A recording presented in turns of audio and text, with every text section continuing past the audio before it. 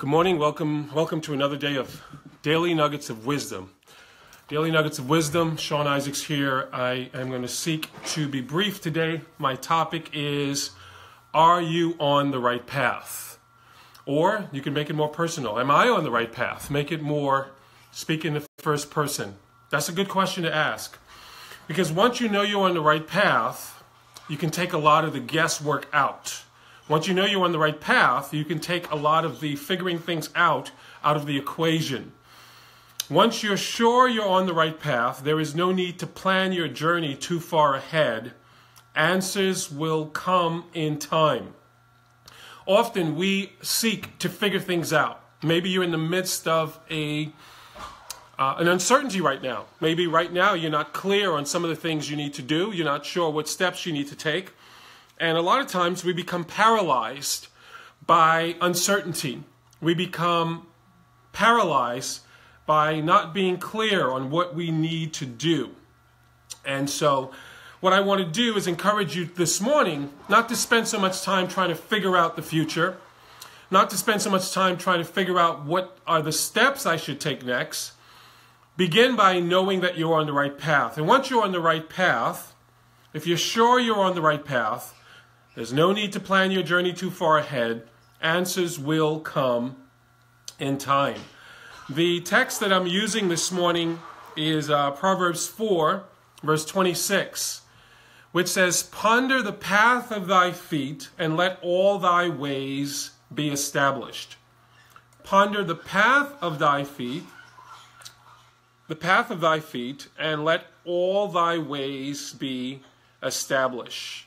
I'm going to pray now and ask the Lord for his help this morning. Father, I want to thank you for another day of life. Thank you for your mercies towards me. I can truly and humbly say that I deserve nothing, Lord, but your wrath and your judgment.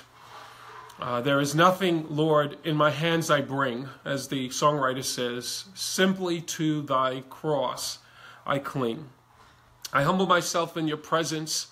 And I ask, O oh God, as you have taught us to pray, I pray that you would forgive me of my debts as I have forgiven those who have trespassed against me. Give me a soft, give me a soft and tender heart, Lord, a willingness to overlook the faults, the sins, the flaws, the weaknesses of others. Give me the wisdom, Father, to examine my own heart, my own life, that I would stand before you in a manner that is right and pure for your word says, Blessed are the pure in heart, for they shall see God. As I focus this morning, Lord, on not so much figuring out the journey, but the need to be on the right path, I pray that you would grant me wisdom.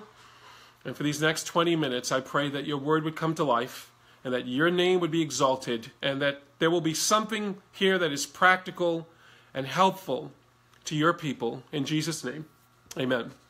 Amen. Vicky, good, good morning. It's good to see you. I've been away for a couple days.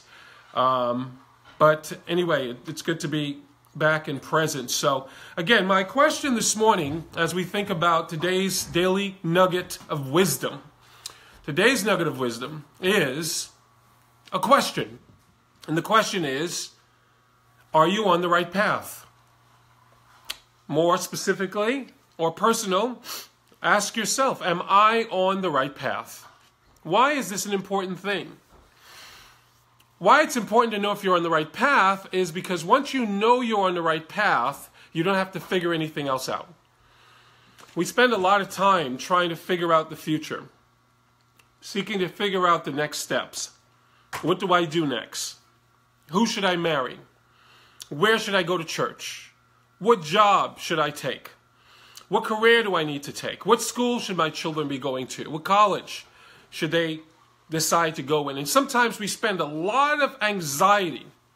We spend a lot of time in a state of anxiety because we're trying to figure out the journey.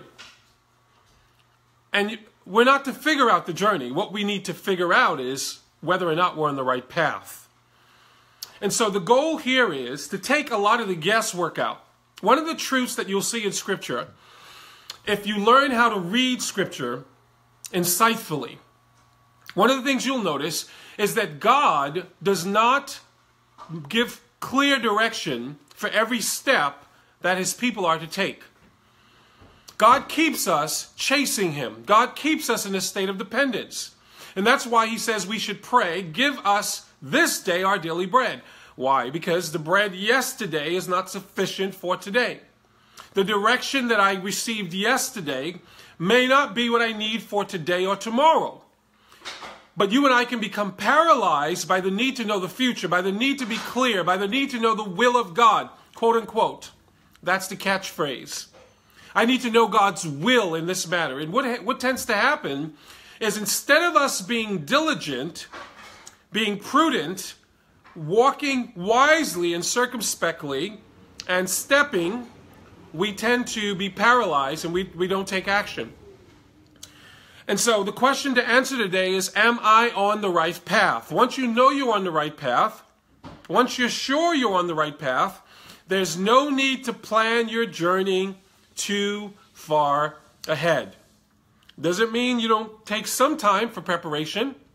We're to be like the ant who is understands how to prepare in the harvest time for the future.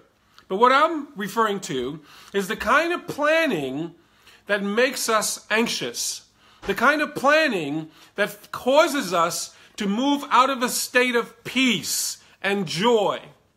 Over and over, you and I will see in the scriptures this phrase, especially the New Testament grace and peace be multiplied unto you. Grace and peace be multiplied unto you through the knowledge of our Lord Jesus Christ. That phrase is found throughout the scriptures. Why is that an important phrase.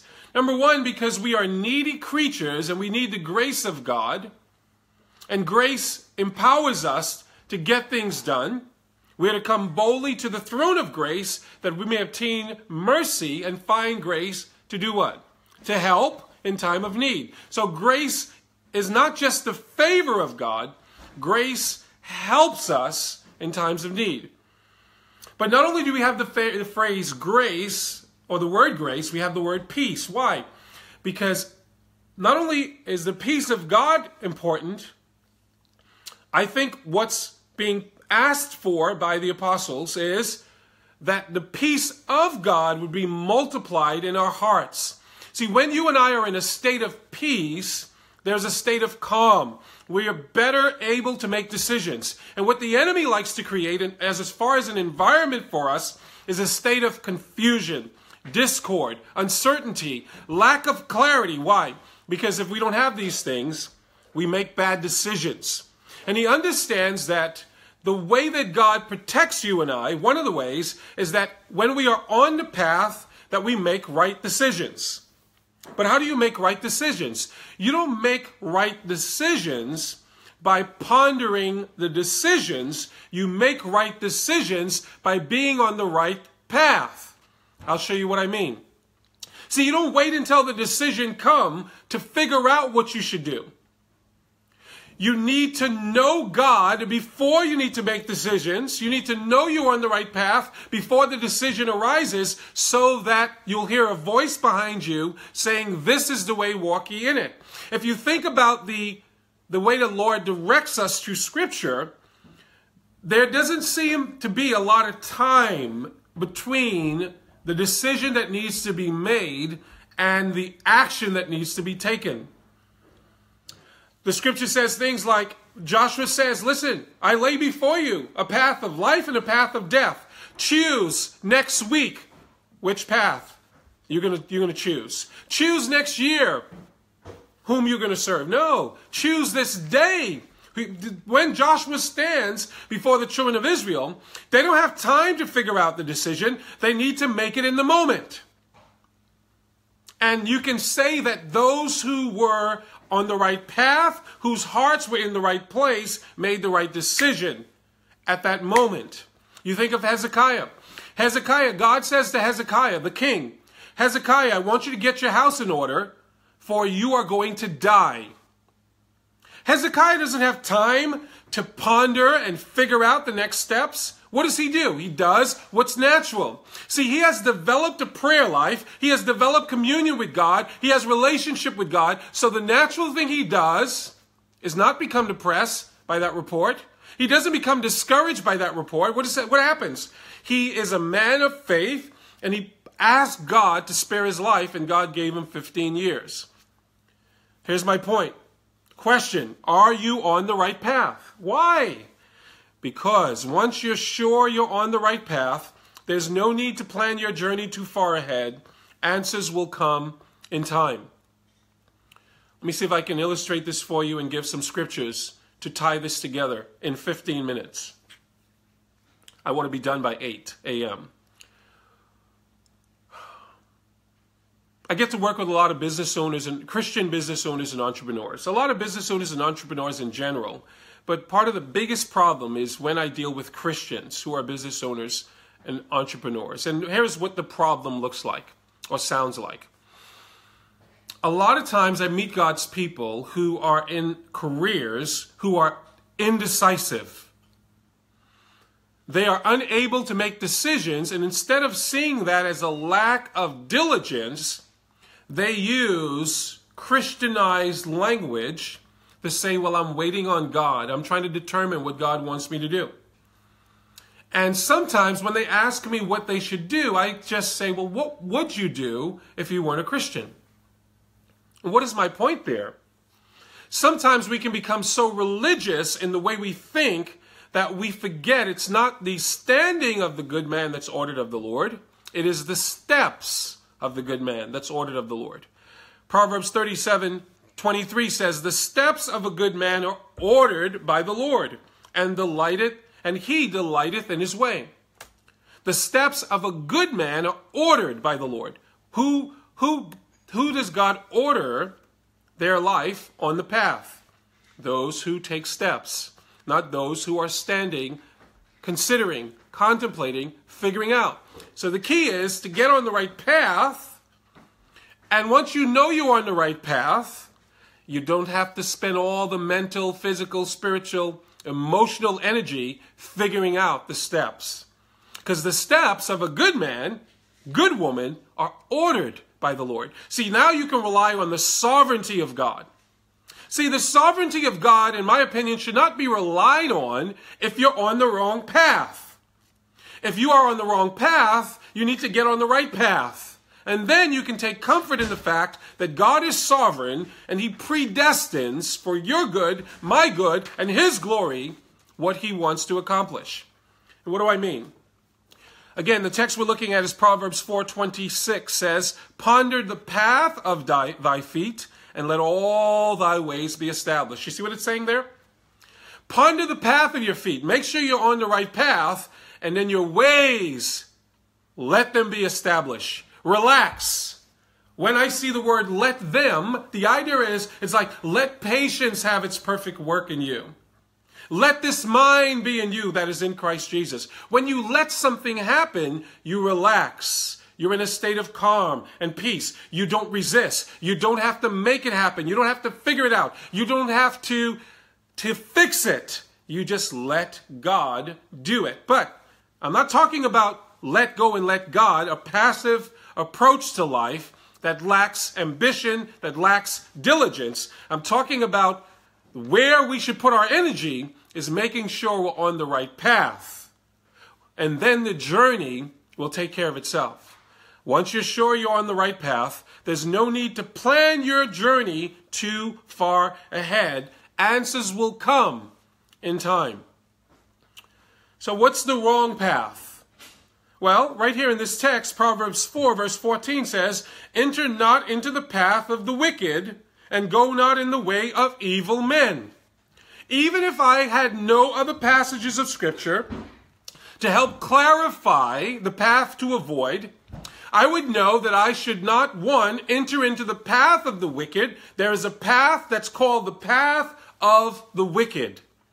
That's the path I don't want to enter in. But then it says, and go not in the way of evil men. There is a path, and then there's a way. There's a path. When I think of path, I think of a place to walk. When I think of way, I think of a journey. Right? The Bible says, broad is the way that leads to death, narrow is the way that leads to life. Linda says, Linda, I always like to read your comments. I can't give people what I have, but I can share my experience. In the calm and quiet of the morning, before the business of the day begins, no matter what it is, I ask God to fill me with the Holy Spirit and to guide my steps and actions and read or listen to Scripture. Very good, young. I was going to say young lady. You are a young lady.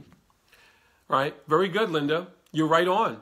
See, the Bible says in Proverbs 3 trust in the Lord, uh, lean not on your own understanding, and in all of our ways we are to acknowledge Him, and He will direct our path.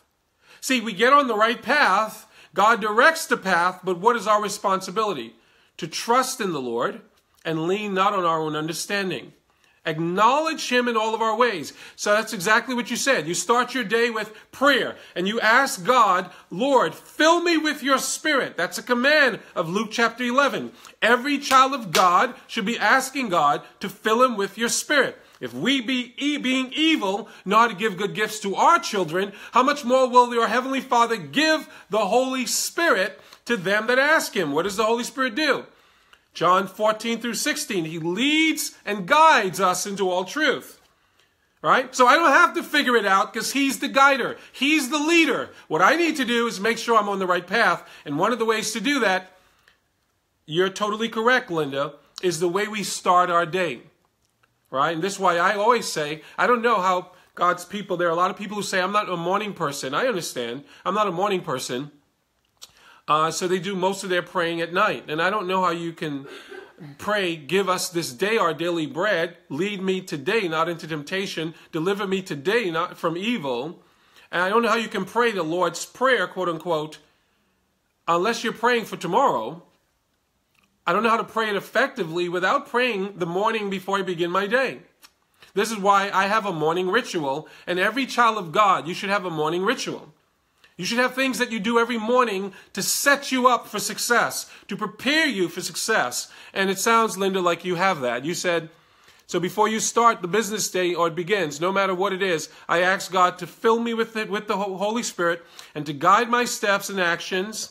And, right? And that's the prayer. Lead me not into temptation, deliver me from evil. You're asking for guidance and I read or listen to scripture, I think a misconception is that a lot of time is required for this, but it isn't. A lot of people suffer needlessly with anxiety.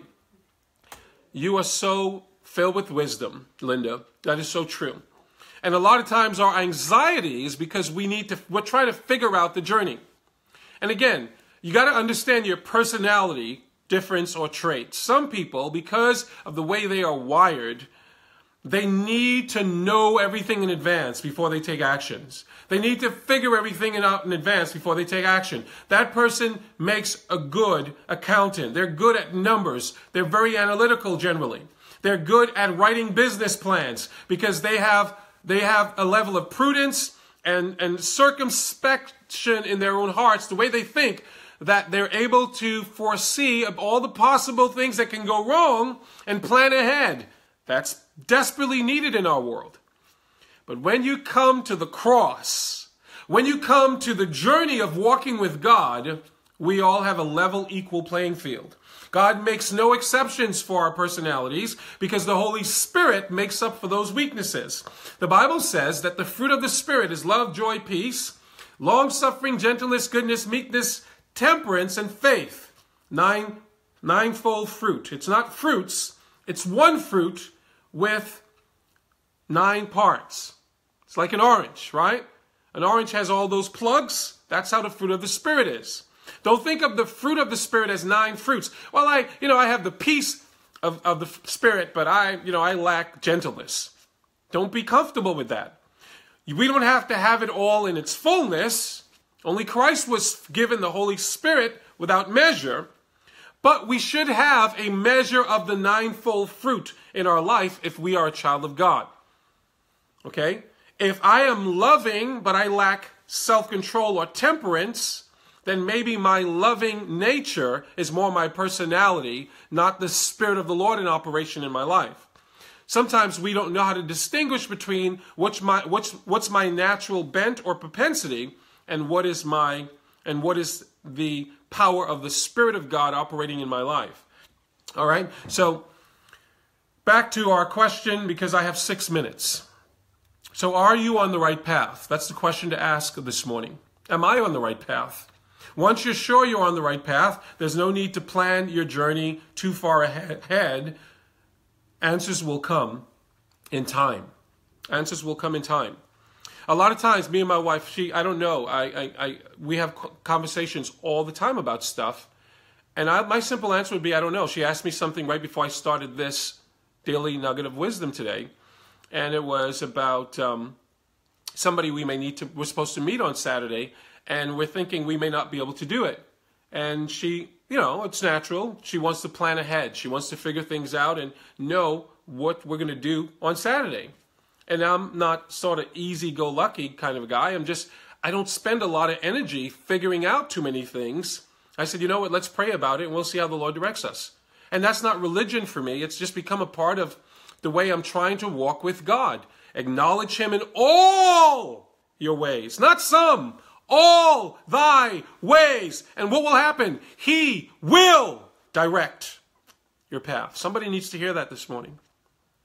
Acknowledge God in everything. Everything. It doesn't have to be long. An acknowledgement is, I'm just letting you know, I'm weak, Lord. I'm not clear. I don't, I'm not omniscient. I don't know everything. I don't have all power. I may not be sure, so I'm trusting you to direct me. All right? So there's a path to, to avoid, and then in this text there's a path to embrace. Proverbs 4:13, the path of the just is as a shining light that shineth more and more unto the perfect day. You see the insight of God's word? You see how this idea is found in scripture? that once you're sure you're on the right path, there's no need to plan your journey too far ahead. Why? Because the path of the just is as a shining light and it gets brighter and brighter. It gets more clear as you stay on the path. God guides, leads, directs by His Spirit and you walk with a sense of confidence. You walk with a sense of authority. You don't need to figure everything out because you know your Father has it all planned out. He's in total control. What do I need to do? My responsibility is to make sure I'm on the right path. Make sure I'm walking with Him. Make sure I'm being led by Him. Make sure I'm praying for His guidance, His direction, His wisdom, His strength, His power. And then I let Him do the rest. And if you do that, grace and peace will be multiplied.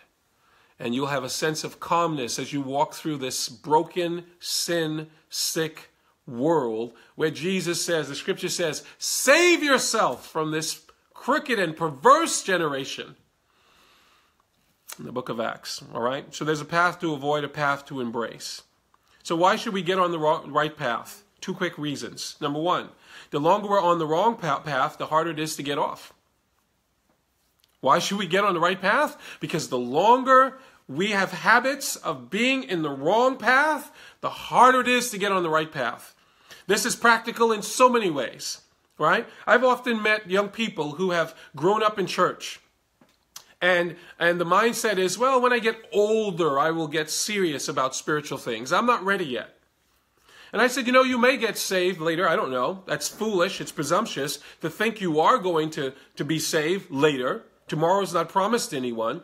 But let's just say that God because of the prayers of your parents, because of, of, of the prayers of your grandparents, great grandparents, because God is not a God of, of, of, of one. God is a generational God. He's the God of Abraham, Isaac, and Jacob. I believe I am saved today because of my great great great grandparents who prayed for my salvation. My great great grandfather was blind in his 90s. As a young child, I would look at him rocking in his chair. I thought he was a crazy old man. I now have come to understand that he was praying for hours.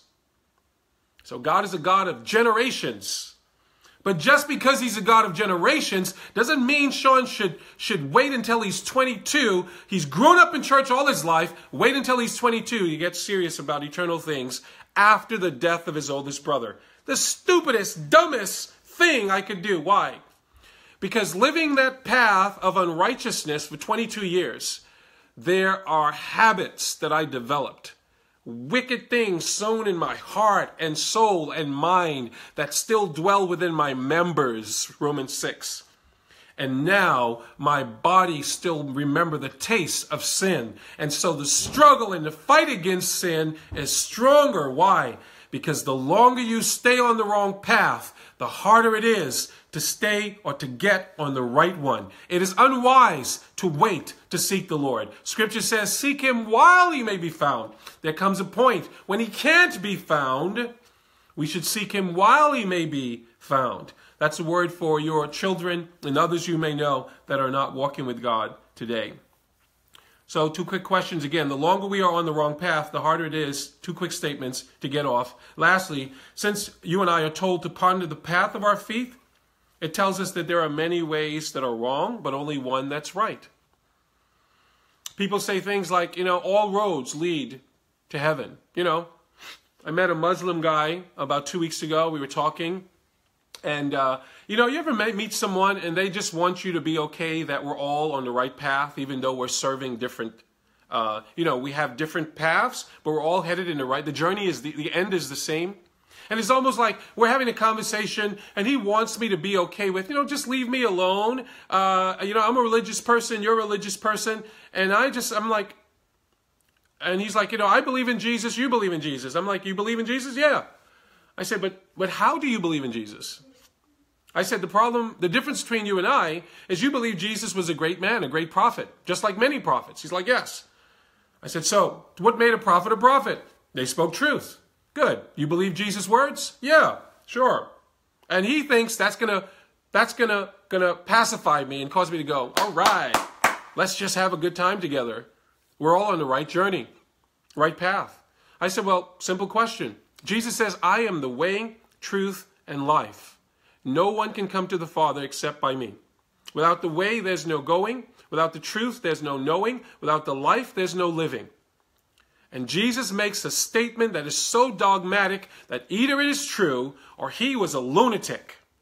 Because he didn't say, I can show you the way, I can point you to the truth, and I can show you how to receive life. He says, I am the way, I am the truth, and I am the life. There is no room for understanding in Jesus' words.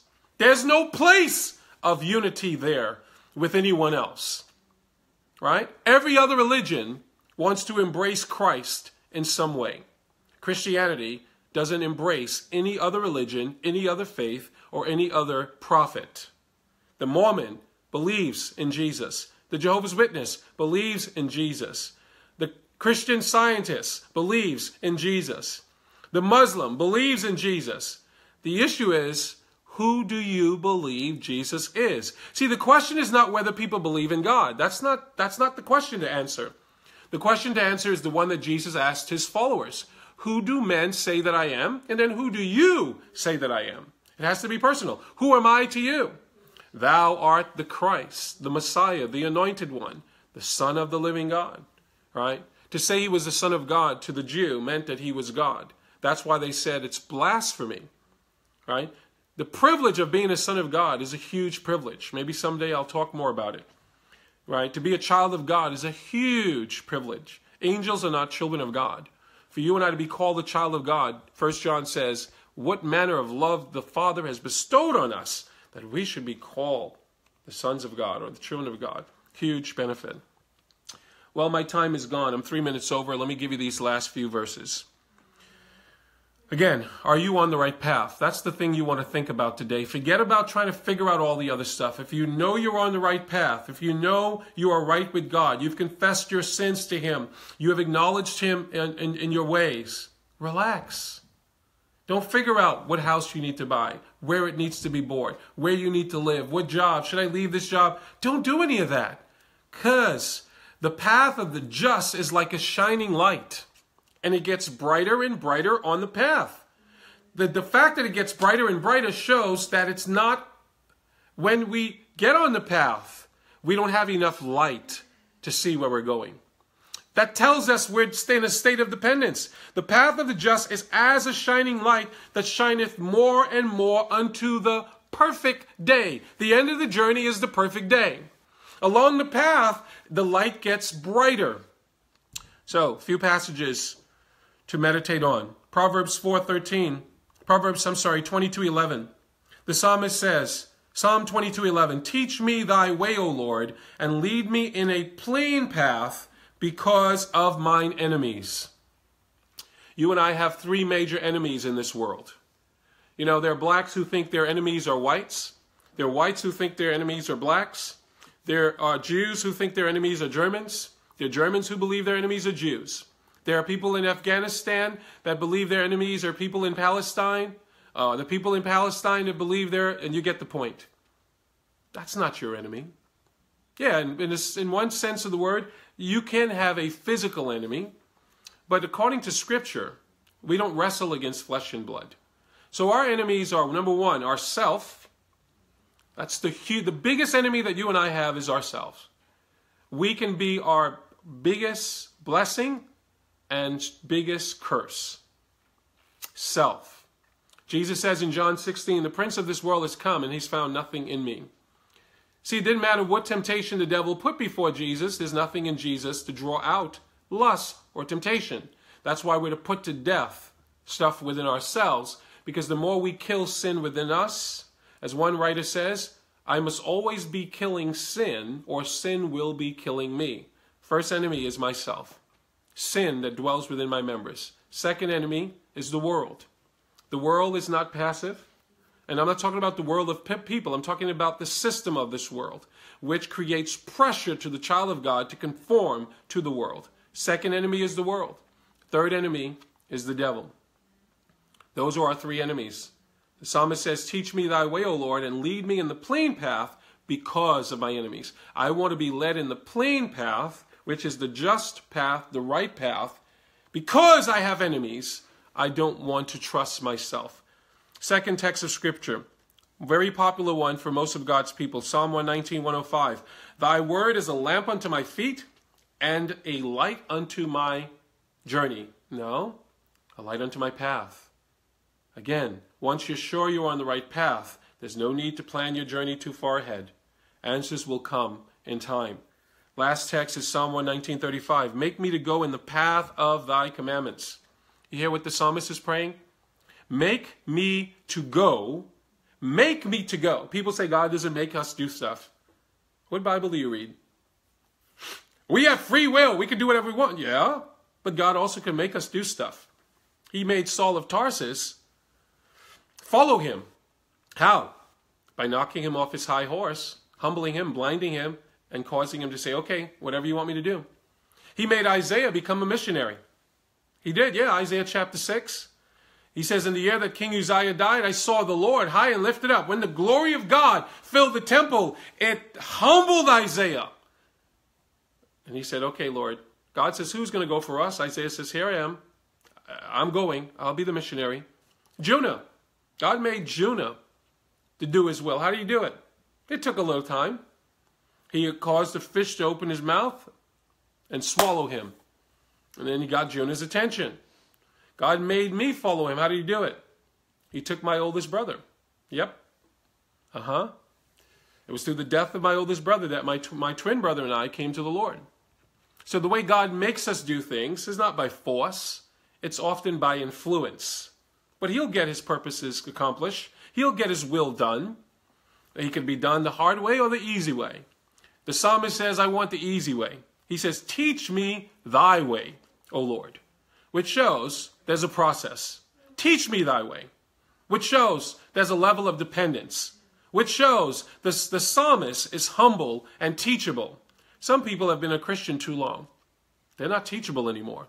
They can't learn anything unless it's learned the way they think it should come. See, when the psalmist says, Teach me thy way, he doesn't tell God how to teach him. God uses all sorts of things to teach us. He can use animals. We can gain wisdom from the ant. He can use friends. Iron sharpens iron. He can use the Holy Spirit. By a voice, by a dream, by a vision, God has no limits. The psalmist puts no qualifications here. He just says, Teach me thy way, O Lord, and lead me in a plain path because of mine enemies. He understands there are three major enemies for him, and he doesn't want to be led astray. He can be his worst enemy by leaning on his own understanding and not acknowledging God. All right, so I hope you found something here helpful. Are you on the right path? are you on the right path? Once you're sure you're on the right path, there's no need to plan your journey too far ahead. Answers will come in time. Answers will come. Why? Because God orders the steps of his people. So just start stepping, start walking, keep trusting, and watch God direct your life. Guys, have a great day today. As usual, I like to hear any feedback. And uh, Allison, Darshell, good to see you. Um, sorry I missed you guys yesterday and I think Friday. Uh, I did a little something on Sunday. I don't think I did anything Saturday. Uh, it's been a full weekend for me. I was traveling um, yesterday. But um, I'm back. All right. So hope you guys are well. And uh, if you missed a portion of this day's nugget, I would encourage you. I think there's a lot of good insight here. And I not because I spoke it, it's because I believe God answered my prayer to provide us food. Right? Give us this day our daily bread. Have a good day, guys. Remember, once you're sure you're on the right path, once you're sure you're on the right path, there's no need to plan your journey too far ahead. Answers will come in time. That's how God directs. He never gives us everything we need because we need to stay dependent as His children. Be blessed.